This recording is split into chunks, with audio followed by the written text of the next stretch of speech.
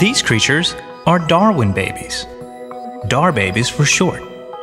And they have volunteered to be test subjects while we study how they evolve in their environment. They are not strong, they are not fast, they are not poisonous, they are not smart. All they can do is hide. Predators exist in the environment, and the dar baby that stands out is more likely to get eaten than the one that is camouflaged. Their genomes consist of eight pieces of DNA, each piece contributing to the color of the dar baby.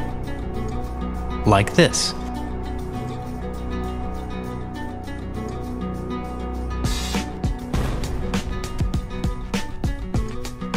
In each generation, 25% of the dar babies get eaten by predators. Another 25% perish from random acts of misfortune. Just unlucky.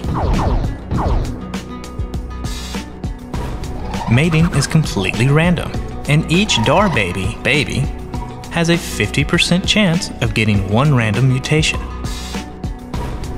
As you can see, almost all of this environment is random. The only tiny non random factor is the predators eating 25% that are the easiest to spot. Will evolution really work? Perhaps. Evolution is a very robust phenomenon. We will start with all the dar babies matching the environment. But the environment changes, and now they stick out. Predators come to feed.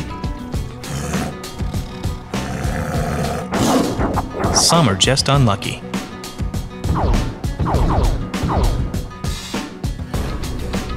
The survivors mate. Mating is totally random, producing the next generation. Notice all the mutations, which are indicated by the green DNA bits. Some mutations are bad. Notice the dar baby that is completely white. Many do almost nothing, and some are actually good. Predators come to feed. Notice how the really bad mutation causes that poor dar baby to stick out and get eaten. While the really good mutation prevents the dar baby from being seen, keeping him alive for now. Some are just unlucky. Oops, the dar baby with the really beneficial mutation was unlucky and still died. How can evolution ever work? The survivors mate, producing the next generation.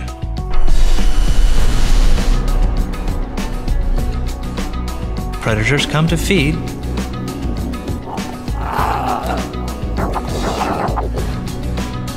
Some are just unlucky.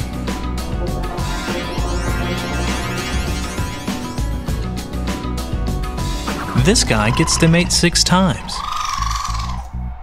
while this guy gets to mate only two times. Remember, mating is a random variable.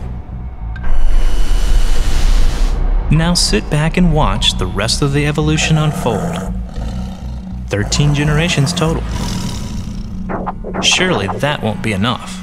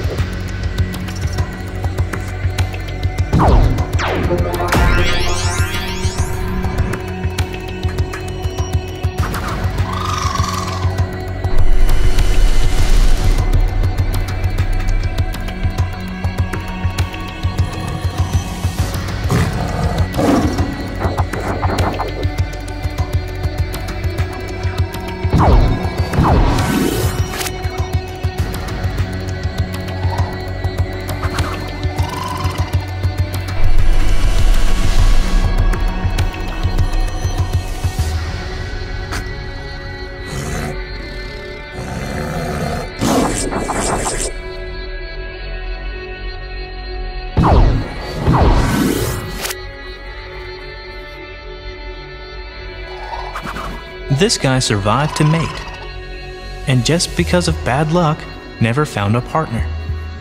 Remember, mating is a random variable.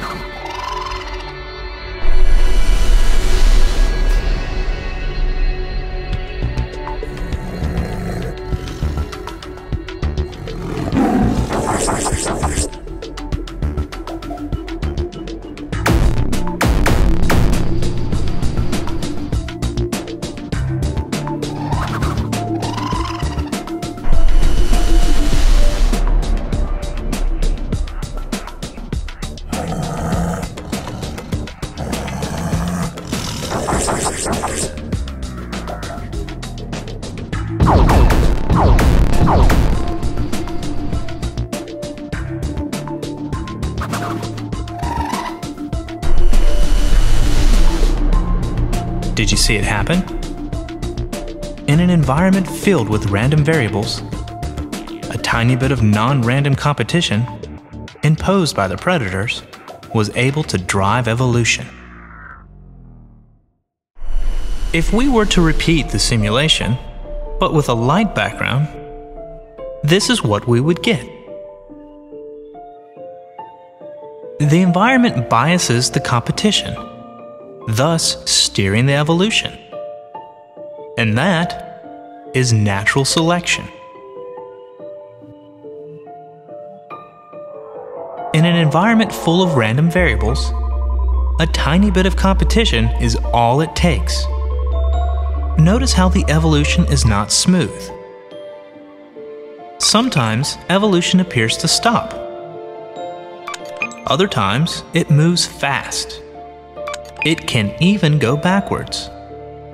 Yet over time, the net effect is a directed process, making the organisms more fit for their environment.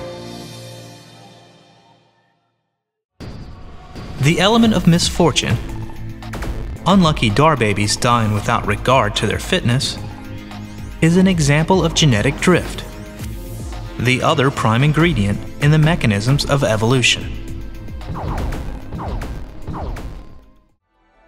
There are many more issues that scientists must pursue going by names such as punctuated equilibrium,